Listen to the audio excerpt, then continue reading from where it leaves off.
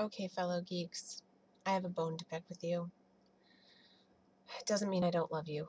I know we're probably all cut from the same cloth. I know I was the frizzy haired band choir geek sitting at the back of the class trying not to be noticed so that I wouldn't be picked on, spit on, or beat up.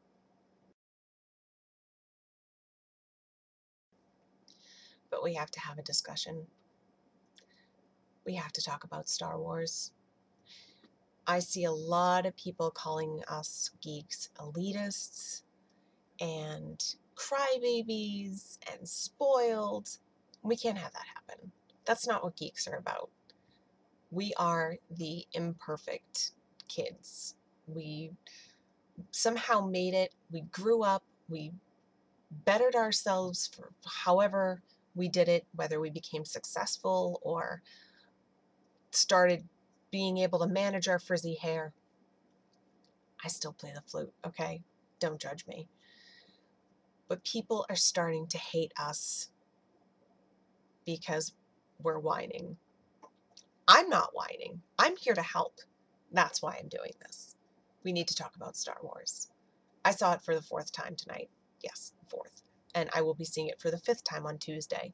Now, I made a lot of mental notes about what I wanted to say, I forget most of them because I was fangirling about the friggin' movie earlier. And when I blurt things out of my pie hole, I tend to forget half of them.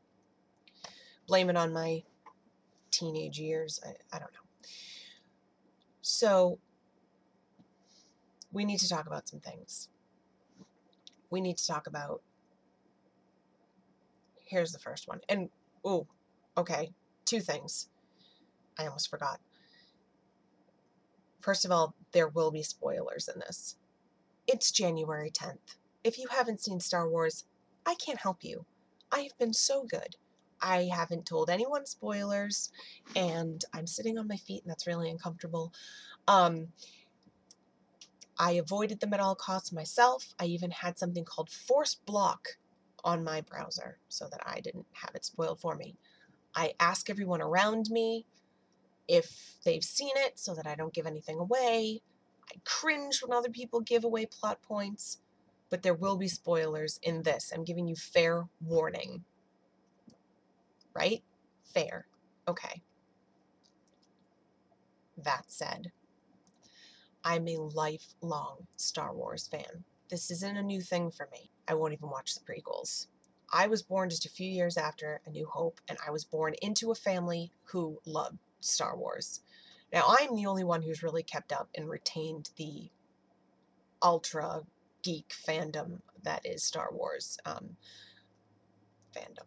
And what you can't see is behind you is a wall of all kinds of action figures and pop figures and just lots of stuff. It's called my wall of awesome for a reason. But Star Wars was an integral part of my childhood. Um, it was a staple. It was something that I grew up watching. It was, I always say, oh, I love Star Wars. And then I always put the addendum, the original trilogy, um, just so people aren't confused. Which it it doesn't say that's fine. If people like the prequels, that's fine. I personally I don't like them. And that's just because I feel like they were just they strayed way too far from what the original trilogy was. Yes, the storyline, great.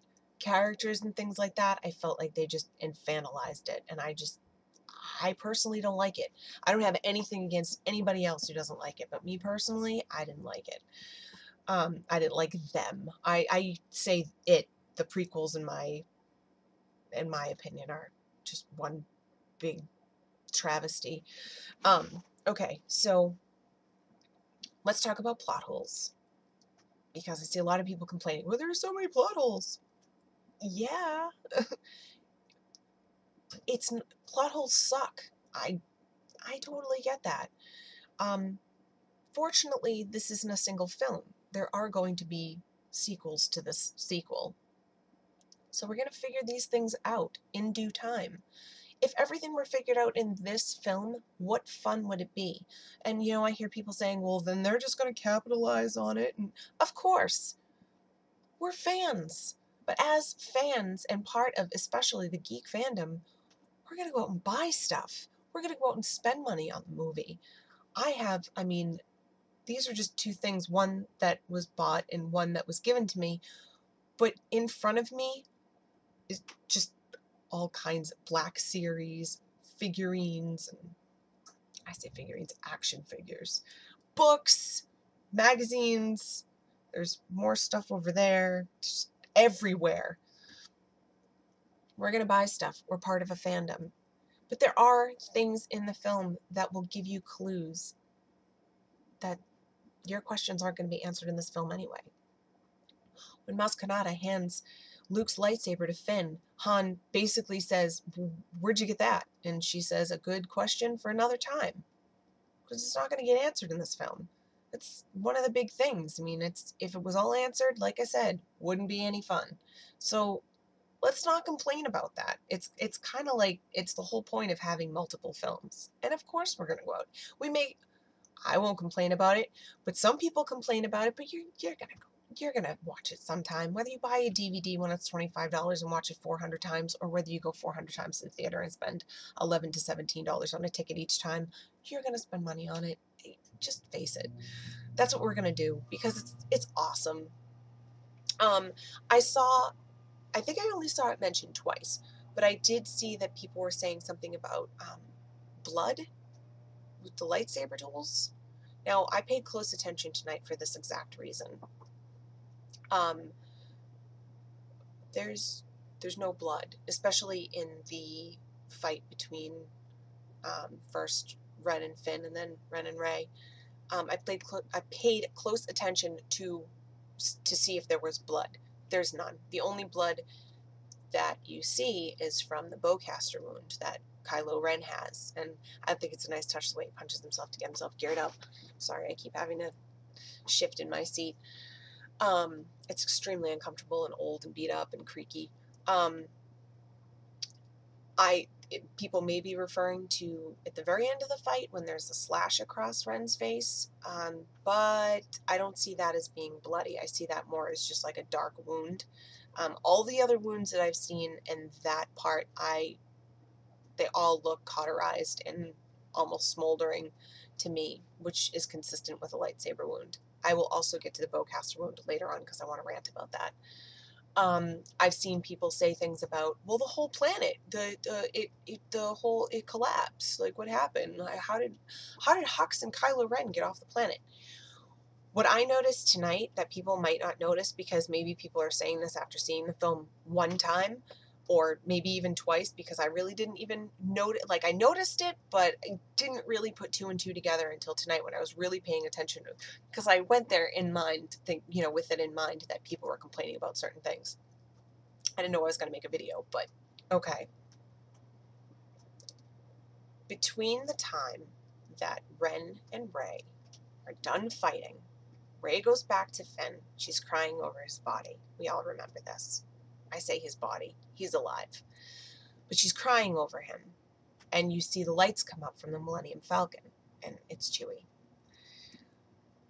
The next interaction that you see and that scene after Snoke says to Hux, you know, go get Kylo Ren, it's time to complete his training. The next scene is Chewie holding Finn with Rey following behind, and they're going back to the Millennium Falcon. It's reasonable to think that there is a period of time in between those two interactions that we're not we're unsure of. So we don't know, I mean, reasonably, the Millennium Falcon had to be landed, which is no easy task considering its size and the location. Um, was usually a co-pilot, and he landed it. Of course, that's just a small detail, and really I mean, Chewie has plenty of experience flying. Um, but then he has to um, exit the Millennium Falcon, reach Rey. We don't know if Rey told him what happened, what kind of condition that Finn was in, whether or not they were checking for a pulse, whether they were checking to see if he was alive. We have no idea how much time has passed between when those lights come up on Rey and when Chewie, Rey, and Finn are leaving or getting back onto the Millennium Falcon. So that's kind of like a thing where if you pay attention, you can sort of understand that there was there might have been plenty of time for them to get off. Plus, it's a movie. Things like that happen all the time. Um, and then um, let's see. There were other things. There were like little observations that I had um, that I'm not sure if anybody has brought up. Like I noticed the look on Rey's face when they finally reached the island that Luke had secluded himself on. And um, the look on her face and the way that Chewie looks at her, it's almost as though that's the island that she sees in her visions when she's trying to sleep at night, which is what Ren says to her when he's getting inside of her head, um, which I thought was. I thought that was uh, pretty cool if they did include that and if that is what that was supposed to be. I also like the way that when Poe goes into the oscillator and he shoots all the columns, this is just my own thing, like whatever. Um, how it's almost like an old school video game boss where you have to shoot all the weak points until it explodes or until you beat the boss. Uh, it's probably just me. I'm old. I played really old video games. Um, let's see. What else do I want to talk about? Oh, I want to talk about Kylo Ren. I want to talk about what people are saying and how they're perceiving him and why I feel that they're being unfair. My personal opinion, and I usually hate the villain, I'm very much on the side of the good guys usually. I feel like people are being unfair. When you first see Kylo Ren, when he lands on Jakku, he's full gear, mask, bucket, if you will um, confident, um, imposing, in control, um, stops a blaster shot in midair. So badass. And then, like, has a conversation. Doesn't even have to think about it. It's just like, yep, I did that. now let's talk. Let me interrogate you. Um, and then when you see him later on, when he takes his mask off and when Rey kind of gets into his head, you see that he is conflicted, struggling, unpolished, hurting, all kinds of things. And I think that he's an extremely relatable villain because I feel like we all have that. I mean, people think I'm an extrovert. People actually laugh when I tell them I'm an introvert. They're like, no, you're not. Well, no, my mask is that I'm an extrovert and I'm goofy and I'm, you know, I'm the person who's making a friggin' fool out of myself to make everybody else laugh. That's my mask. I became an actress because I can do that. I can I can be the goofball and I can act like I'm full of confidence and self-assurance and really I just want to go home and crawl under the covers. Um, usually it's just in the winter. In the summer usually I'm a little different. Um, but still, still very, very shy on the inside. I just hide it very, very well. Um, but I think that's one of the things that makes Kylo Ren so relatable. And then um, you see later on on the bridge with Han, and he is still, you can see that he's conflicted about what he has to do. And my own personal thing, and again, I don't know if anyone else has said this, but I feel like he, he feels like he had to kill Han so that he could fully embrace his dark side because I feel like he feels that pull to the light side because of his father. And he has to get rid of that, Han, in order to embrace that. But if people paid very close attention, and if you read the books, you would see that there is a moment of sheer regret that Ren has after that scene. After he kills his father, if you if you really pay attention without feeling all the emotional, oh my god, Han's dead, look at the look on Kylo Ren's face right before he's shot with the bowcaster. Which brings me to my next point. Shot with the bowcaster that sent fully armored stormtroopers flying through the air and killed them on impact. Kylo Ren's not fully armored. He's got a couple layers on. But he's shot in what looks like almost like a kidney shot with the bowcaster that sent fully armored stormtroopers flying through the air and killed them on impact. You guys have me talking like Shatner. Do you see this? He proceeds to emotionally drained from doing what he just did, see the look of regret on his face, then he shot, practically mortally wounded, still gets out before Finn and Rey, beats the crap out of Finn, gets wounded further in his shoulder. Anybody who knows that you have to fight with, you have to fight with your hands, with both arms, or, you know, you could use one if you're fancy, with your lightsaber. So he's wounded in his arm. He's has a gut shot with a bowcaster that sent fully armored stormtroopers flying through the air and killed him on impact. Um, still beats the crap out of Finn, leaves him for dead, and then is actively pushing Rey backward and kicking her ass until she gets to the edge. And then he almost it almost seems like he has a moment of weakness where he just needs someone else. And he says you know you need a teacher. And that's when she takes that moment to close her eyes and remember what Maz Kanata said about the force. And then she sort of it almost seems like she channels almost the dark side. She seems a little angry. So she kind of gets that that burst of of you know power if you will, and ends up obviously obviously winning the fight. But if you think about it, look at how wounded he was. People are going to say, oh, he's weak. He got beat up by a girl, blah, blah, blah. But if you actually pay attention, and if you pay attention to his character as a whole, you'll understand that he's already in a spot where, and let's, okay, let me finish that thought. He's already in a spot where he's been wounded and emotionally harmed, and I say harmed, emotionally distraught. But he's also not fully trained, and people are, oh, he's no Darth Vader. Mm-hmm. That's the fucking point. He's no Darth Vader. He's trying to be. And Ren, um, Rey says as much to Ren when he loses control of her and she gets into his head and she says, You're afraid that you're not as strong as Darth Vader. Yeah, that's the point, guys. I see everyone saying that, but that's the point. That's his whole character. Look at the way he looks up at Snoke.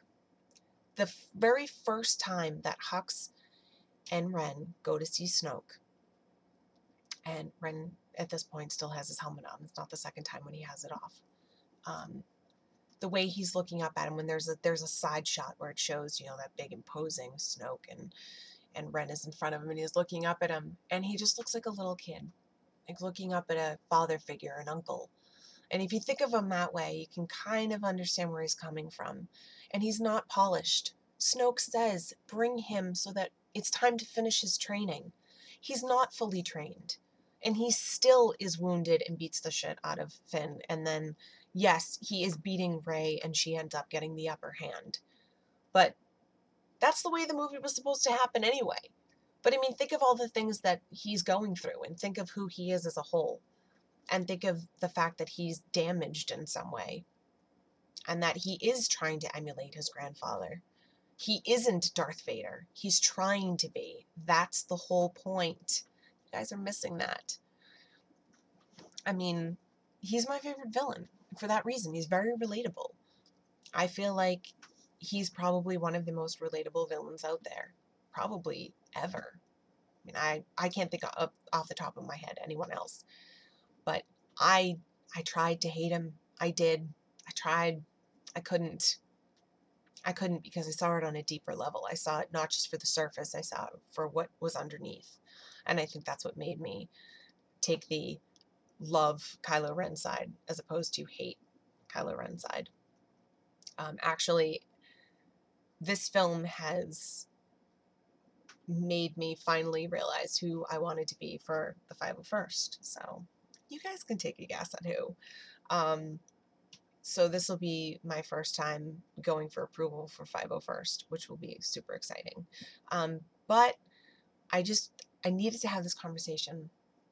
I know it's one sided, but I'm sure you guys are probably yelling at your computer if you're even watching this, the five people that might watch it. Um, we needed to have this conversation. I can't have geeks, my beautiful, imperfect, wonderful fellow geeks, being called elitist and looking like spoiled brats. We got exactly what we wanted.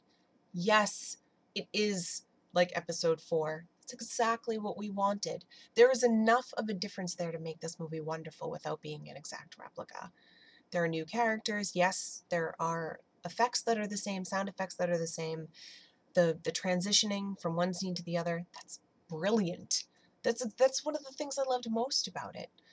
I've seen kids get video games that they asked for for months only to as soon as they get it leave it to collect dust and they hate it, you know? And I don't I don't want geeks to be synonymous with elitist or asshole or spoiled or, you know, any of those things.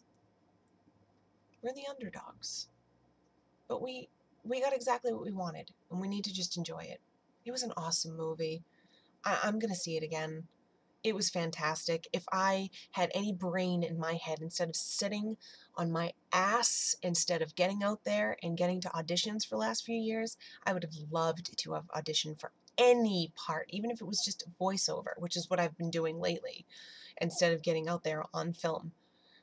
Anything. I would have I would have done anything, almost anything, to be part of this franchise. So I say just enjoy it. I mean, this is this is an amazing time. We are old enough now that we can buy our own merchandise and we can if you're like me, you can work three jobs and go see it whenever you want instead of waiting for our parents. This is a great time to be a Star Wars fan, and I just want us all to enjoy it. Um, so if you haven't seen it and I just spoiled everything for you, I'm so sorry, but I really did give you a, a really really good warning and um, uh, an opportunity to turn this off. Um, and if you if you haven't seen it and I spoiled it and you still want to go see it, go see it because it's a fucking awesome movie. Thanks for listening, guys.